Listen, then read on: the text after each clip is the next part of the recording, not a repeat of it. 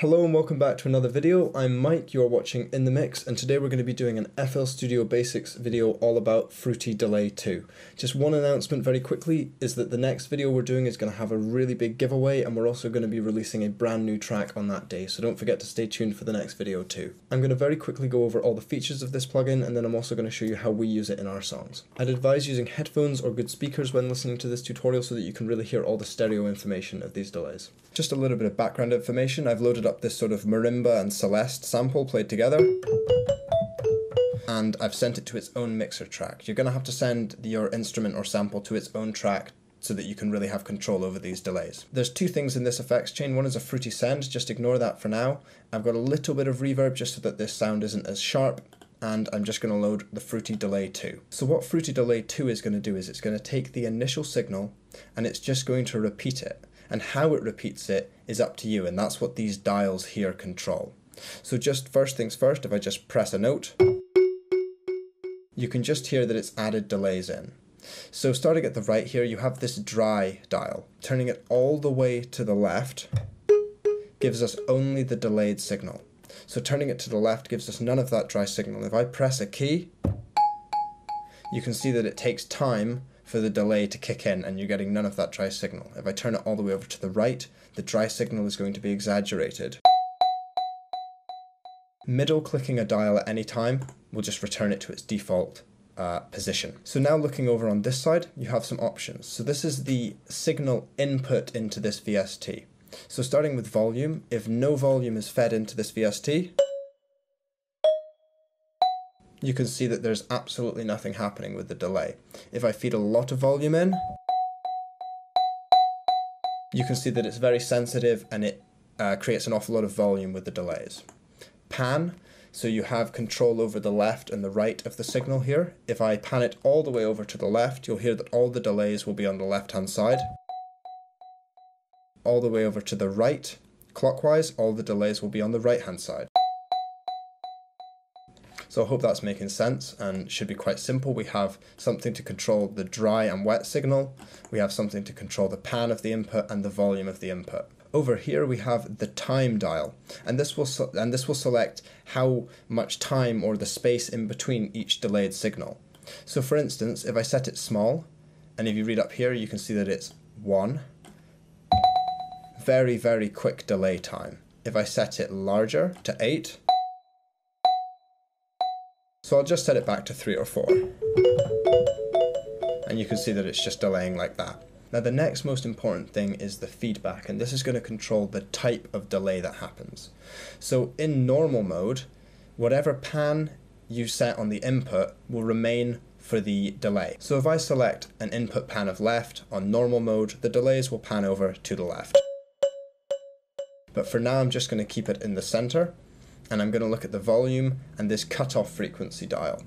So what these control is the volume controls how many times it delays.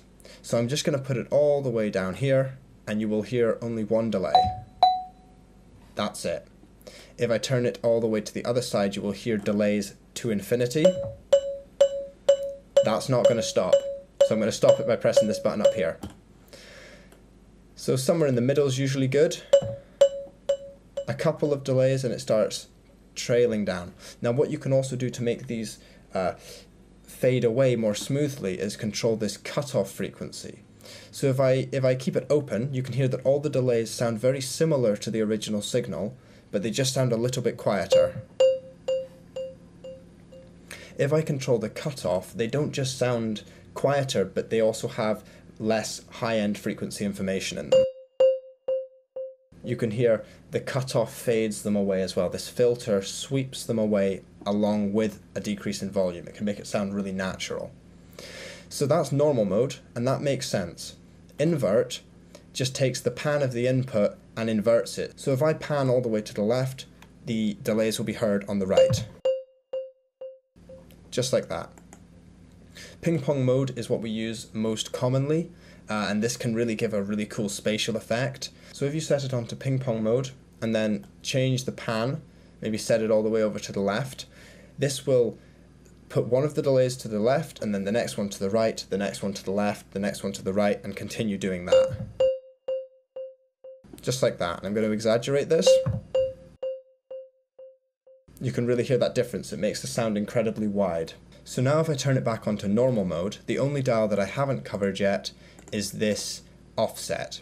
So what this will do is this will take a standard delay and it will delay the left and right channels slightly to make it seem a little bit wider. So I'm going to exaggerate this and I'm going to turn the dry all the way down so that you can just hear the delays. In the middle, the delays all feel like they move away in the center. If I just add a little bit of this.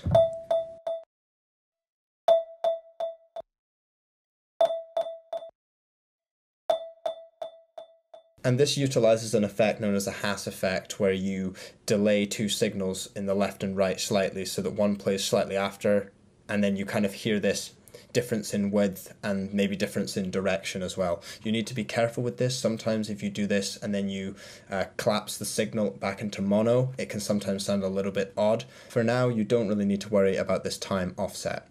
So I've just gone over the basic features of this but I'm going to show you a way to use it that's a little bit easier than putting it in series like this. So I've got everything on the same channel in the same effects chain. So all I'm going to do is simply remove it from the channel that it's on, and this is where this fruity send comes in.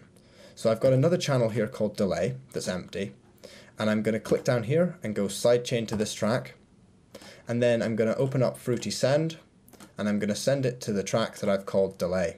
So now all of this signal is sent to this delayed channel just like that. Now what I'm going to do is I'm going to put a delay 2 on the delay channel and I'm going to turn the dry all the way down so that we just have the delayed signal. You can hear it like this. We're only getting the delays there. And I'm going to just, I'm going to set it onto ping pong mode. I'm going to change the input pan a little bit so we get that stereo feel. So now what this lets you do is control the dry signal and the delay separately. So perhaps you wanted to put an awful lot of reverb on the delayed signal, but wanted to keep the dry signal as it is. So I can keep the dry signal sounding like this, just a little bit of reverb, but I can still put a lot of reverb on the delays. You hear that? The reverb's just on the delays. Furthermore, you could take these delayed signals, run them through an EQ, and you could just sort of gently shape the sound a little bit, try to color it a little bit. So that the delayed signal sounds considerably different to the input. You could also run it through saturation and such just to make it sound really different. And then what you can do is you can have a dry signal and you can start fading in the delay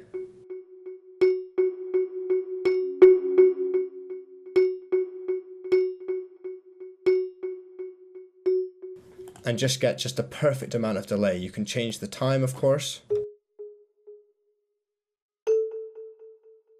And then you can just fade it in. Another great feature of using this second delay channel is that if you wanted to say distort the original signal, I'm just going to add Head Crusher, and I'm just going to, this is a great free saturation plugin. I can distort the original signal but you can hear that the delays don't have any of that distortion on them. And it's just little artistic effects like that that can really give some space and width to a mix without uh, just overloading it. You might want to keep the original signal clean and distort the delays instead, in which case it could sound a bit like this. Maybe a little bit crazy, but it's something you can do. I always like putting a delay on a separate channel just because it gives you lots of control. You can just take this fader down during a chorus and then there's not going to be any delay. And if you want a lot of delay, you can take it up. If for some reason you only want delay, you can just turn this original channel down and just have your delays. And I just find that it's a really good way to do it. That's what Brad and I tend to do. One last feature that I forgot to show you was that this fruity delay on the time dial, if you look up into the top uh, left hand corner of the screen, you can see that it gives you these numbers. And if you land on a whole number, it's a perfect tempo synced delay to your track. You can also right click press set and select how many steps you want the delays to be separated by and it sort of jumps it on to the nearest step. So I hope this video has helped you learn how to use Fruity Delay 2. Thank you very much for watching and don't forget to stay tuned for our next video which is going to be a huge giveaway. Thank you very much for watching. See you in the next one.